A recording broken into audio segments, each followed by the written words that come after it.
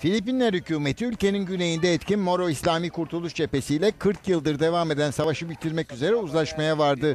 Görüşmeler 15 yıldır sürüyordu. Varılan anlaşmaya göre Filipinlere bağlı Bangsamoro adlı özel bir bölge oluşturulması benimsendi.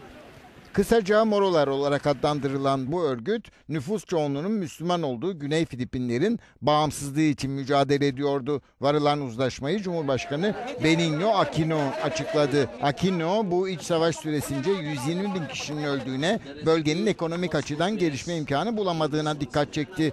Geçmişte Muammer Kaddafi'nin başlıca destekçileri arasında yer aldığı cephe rehin almalar ve sürpriz saldırılarla tanınıyordu.